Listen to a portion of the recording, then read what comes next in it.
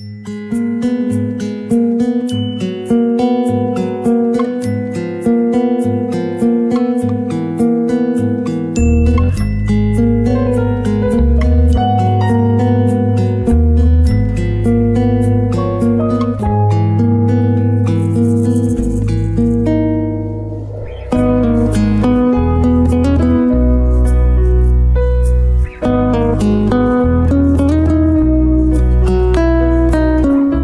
Pensamientos diarios.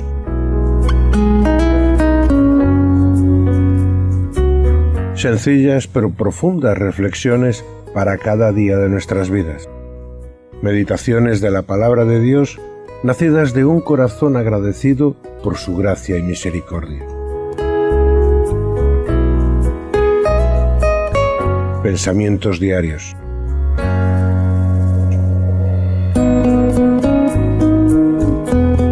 Devocional de lectura personal obsequiado por Radio Luz a las Naciones, canal cristiano de comunicación, con el único deseo de compartir con todos vosotros la esperanza en Cristo que hay en nuestros corazones.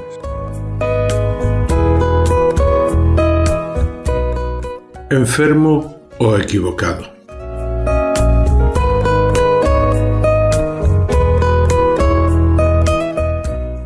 Yo dije, Jehová, ten misericordia de mí. Sana mi alma, porque contra ti he pecado. Libro de los Salmos, capítulo 41, verso 4.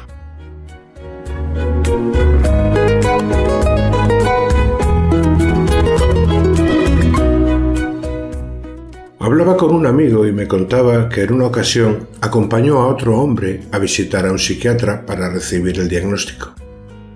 Había estado ingresado en una clínica psiquiátrica durante un mes y durante ese tiempo la doctora cada día lo visitaba.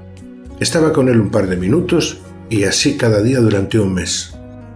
Así que al cabo de un tiempo fueron a la clínica a recoger el diagnóstico y el resultado fue no le pasa a usted nada, está completamente normal. La doctora había pasado apenas una hora con él durante ese mes y en ese tiempo había determinado que aquel hombre que llevaba más de un año sin poderse mirar al espejo por el pavor que ello le suponía y que veía alucinaciones que hablaban con él cada día, no le pasaba nada.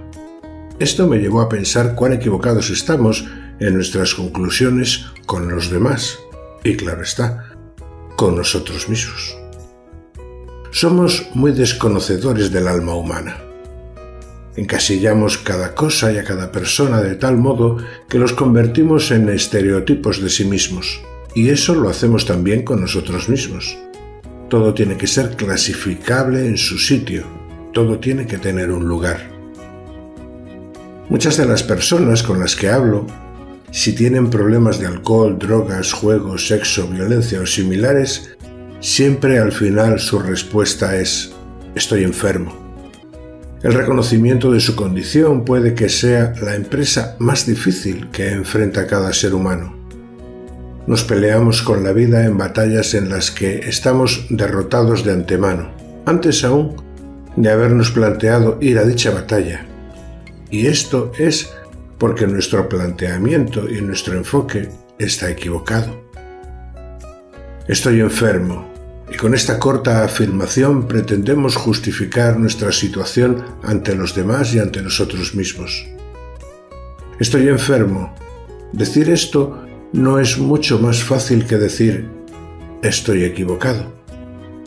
Esta puede que sea la frase que más se nos atasque en nuestras gargantas. Y es porque cuando digo que estoy enfermo, descanso la responsabilidad de mis actos fuera de mí pero cuando digo que estoy equivocado estoy asumiendo la consciente autoría y responsabilidad de mis actos. Ahora bien, puede que ni estemos enfermos ni estemos equivocados, porque puede que lo que estemos sea en pecado. Este es otro enfoque, ¿cierto? Intentemos mirar nuestras vidas desde el enfoque espiritual.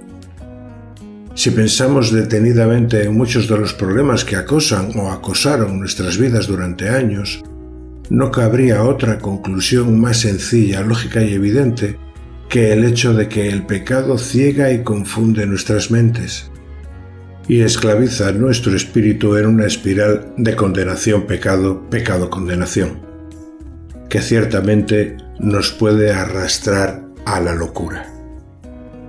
¿Qué es más fácil? ¿Decir tus pecados te son perdonados o decir levántate y anda? ¿Cuál de estas dos quieres hacer realidad hoy en tu vida? ¿Cuánto pesan tus pecados? ¿Deseas poder levantar tu vida?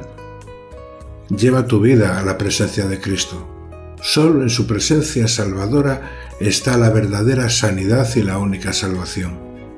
Permite que el milagro de una nueva vida te alcance y te llene de luz y de verdad. ¿Quién podrá entender sus propios errores? Líbrame de los que me son ocultos. Salmo 19, verso 12. Que Dios os bendiga.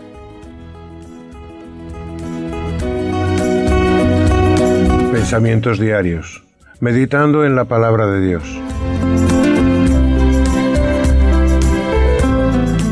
Santificad a Dios el Señor en vuestros corazones, y estad siempre preparados para presentar defensa con mansedumbre y reverencia ante todo el que demande razón de la esperanza que hay en vosotros.